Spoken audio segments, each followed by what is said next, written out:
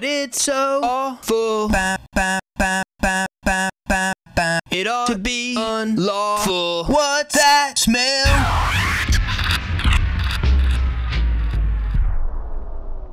Eh, Número 6. Ha ha ha ha ha.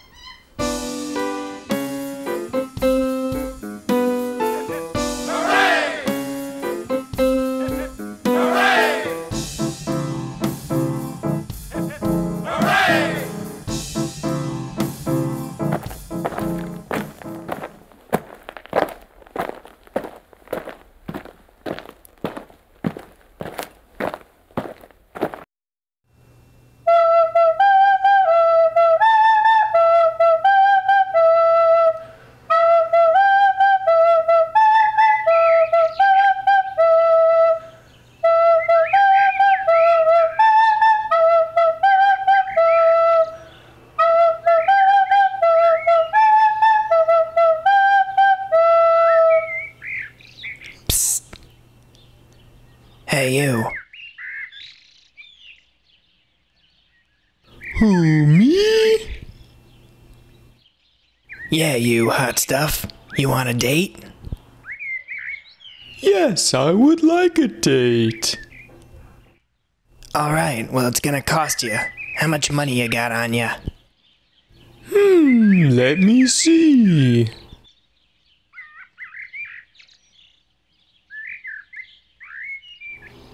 It seems that I have $20.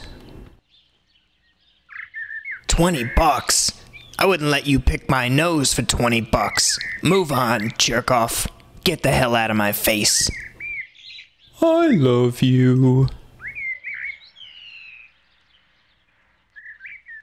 What's a girl gotta do to find a decent trick around here?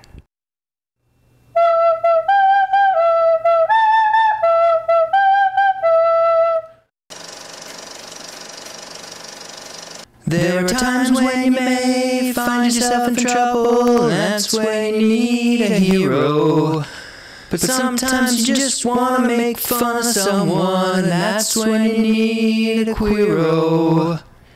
That's when you need a queero.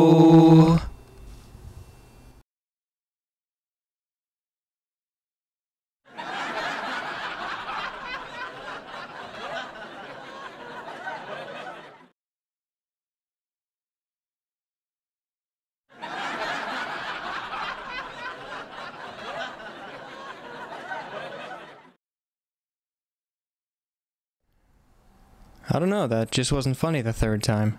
Yeah, not funny at all. That's a pretty cool gorilla, though. Yeah, cool gorilla. Hmm. Let me tell you, Pansy, something right now, okay? This sucker's going international. There's no doubt about it. What we got for you now is a little gem that was sent in to us by this dude called called Scott Gordon, who resides down in Alabama. Okay? First Alabama, next, who knows, maybe even Mississippi. International suckers, now shut up and watch and enjoy, or I'm coming after you. Okay? I know where you are. I, I'll be there in a flash. So just shut up and watch. Later.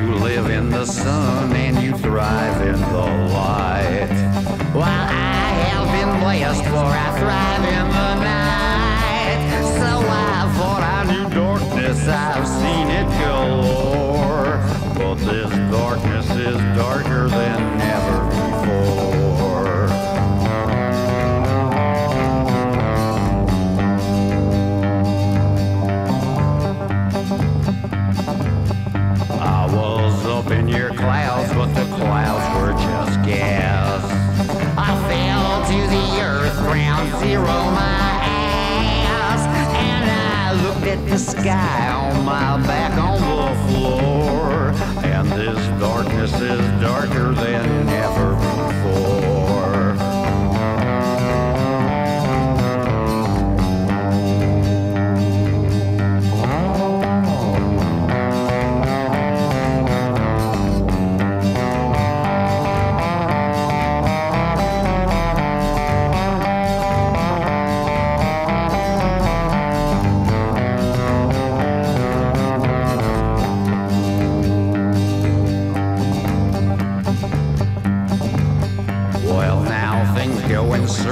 on this,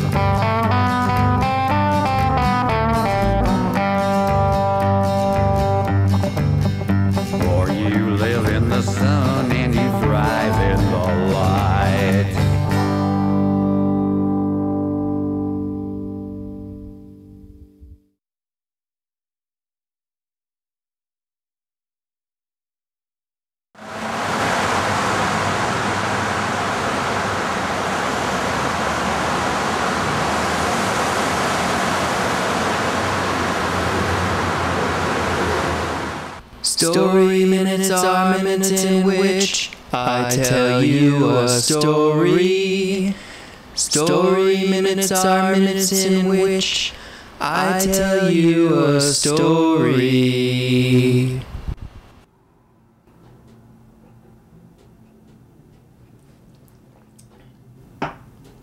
Hi there. How are you? Oh, me, I'm fine, thanks. You feel like hearing a story? I got one for you. It's what's become known as the Legend of the 12 G's. Although it's kind of a misnomer because it's not a legend at all. I know for a fact that this happened. It was a couple of years ago, and it involved someone I used to know and used to like, but then abruptly stopped liking. But anyway, that's an entire different story minutes. This story minutes concerns a, wo- a woman I used to work with. We'll call her Jan. She had only been working with us for about two weeks, uh, doing bookkeeping, clerical type stuff. And she was a nice enough person, you know. Did her work, came in on time. No complaints. However, one day, she was very late. She hadn't called, She hadn't told us the day before she was going to be late, so we began wondering what happened to her. Well, a few hours later, she finally came in, looking quite dazed. And we said, Jan, what's up? And this is the story she told. She was walking down Canal Street. Some women in a car pulled up next to her and said, Excuse me, ma'am, do you read Chinese? Now, Jan is Chinese, so it's a it's an alright assumption someone should make to assume that uh, she could read Chinese, but unfortunately she couldn't. So she told them, No, I'm sorry, I don't. I, I speak it, but I don't read it. And they said, Well, that's a shame, because look at this. And the woman in the back seat opens her hands, and there's a gigantic wad of money wrapped in this paper with Chinese writing on it. She said, I just went to make a payphone call, and stuck underneath the payphone was this brick. So I opened it up, and it was this wad of money. Now, I think I have a plan, but I'm not sure. Why don't you get in the car and we'll figure this out? So Jan, eyes growing larger and larger by the second, gets into the back seat of the car with these women, and uh, they proceed to drive away. On the course of their drive, they count the money, and it's about, I forget exactly how much, but it was an obscene amount of money. It was about eighty or ninety thousand dollars in cash. So she says, Listen, I don't know what this writing says. I don't know what this money is. I'm not going to give it to the cops because they're just going to take it on some pretense that it's evidence or something, and I'm not going to let them do that. I called my boss, who's a lawyer, and he gave me this plan, and I think I'm going to do it. Here's what it involves. We're all going to go to our banks, we're going to get out money, we're going to add it to this money that we just found. Then we're going to give it to my boss. He's going to write up papers that show that we made an investment in a company. And then this is our dividend payoff on the company when it made money. That way there won't be any trail where the money came from. We can keep the money and we'll be a whole lot richer after today so jan you know obviously being seduced by these huge amounts of cash goes says that this sounds excellent so the, they drive to the first woman's bank. She goes in, she makes a, a withdrawal, like, you know, however much money, a few thousand dollars. Then they go to the other woman's. Then they go to Jan's bank, and she withdraws her entire bank account, which is $12,000, and gives it to the women. So now they've got this gigantic wad that's well over $100,000. They drive back downtown. The women say, All right, here's my office. Uh, get out and you know go up. It's on the second floor. Just go up. There's a, there are two chairs right to the side. Just go up and wait there. You know when Mr. Jones comes out of his office, he says, "Are you her?" You say yes, and you go in. He'll drop the papers.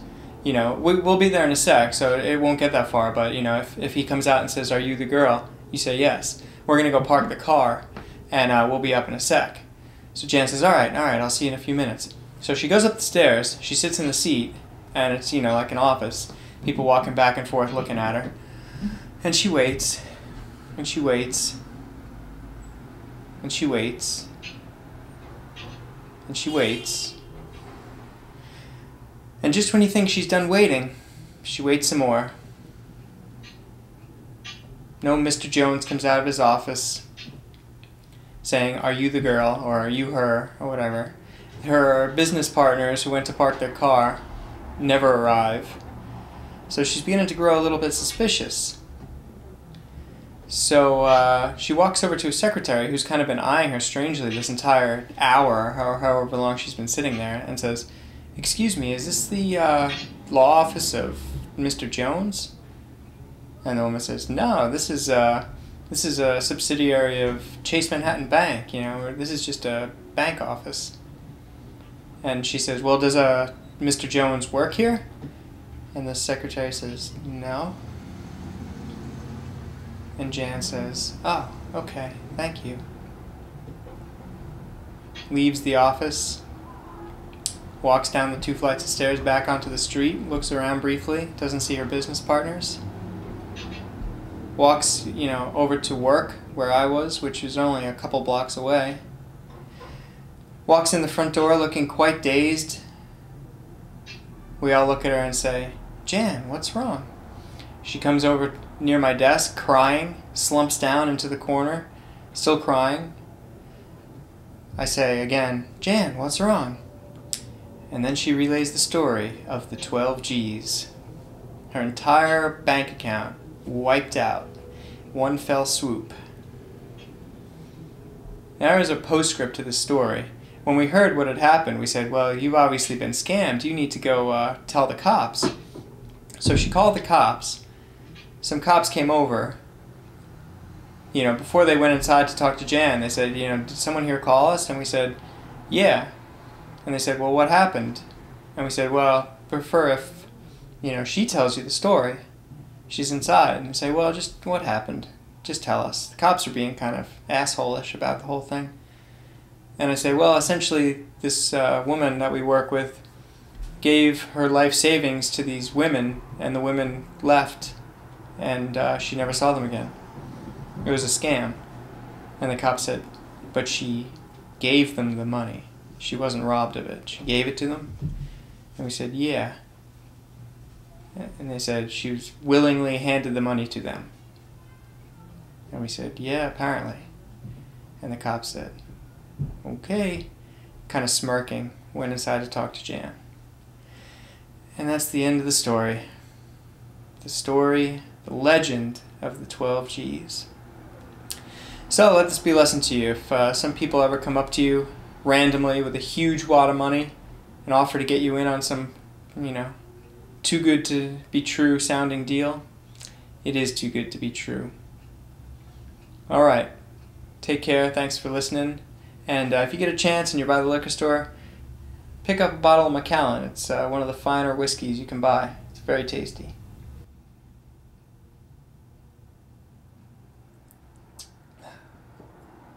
Story minutes are minutes in which I tell you a story. Story minutes are minutes in which I tell you a story.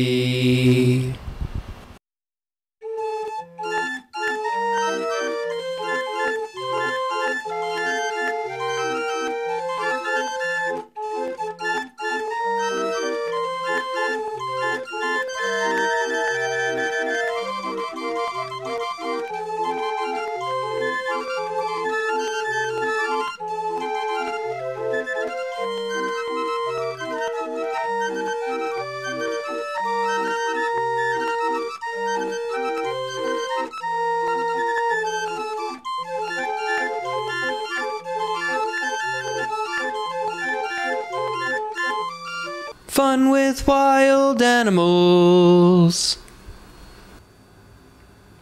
We're rolling? Yes, we're rolling. Yeah. All right. Don't hold the camera still. I can see you shaking from here. But it's a lion, I'm scared. I know it's a lion. That's why I'm doing this. You think it'd be any fun if it wasn't the lion? No, I guess not. Just, just keep the camera on me. All right. Here we go. Mm, get closer, you're too far away.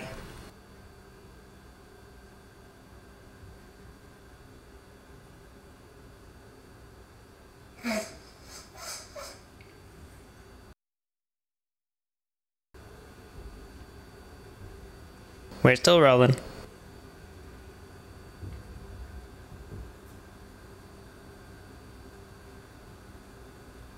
All right. Let's get out of here. I think he's mad. Fun with wild animals.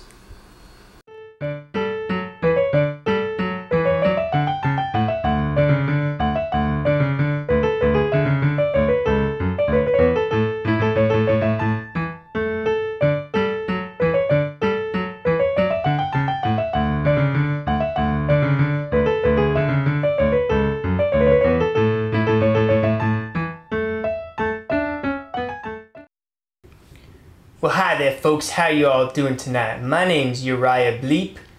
I'm a singer-songwriter, and I have a little ditty I'd like to play for you right now. It's about an experience I had, oh, just a few hours ago. Hope you like it.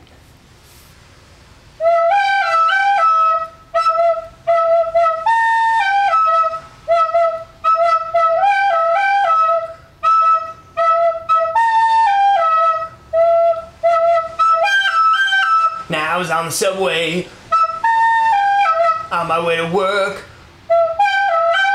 but one of the other passengers was a friggin' jerk. He launched something awful out of his behind. It was an A bomb of the worst kind.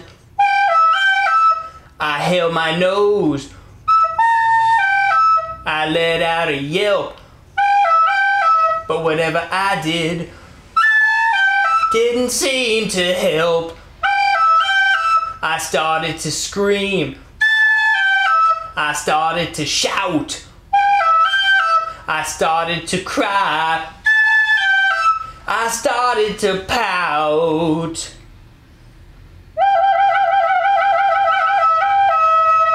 And now I got the Santa ain't gonna come this year because he's gonna find out, and it's all because some jerk off douchebag ripped one on the train. Blues.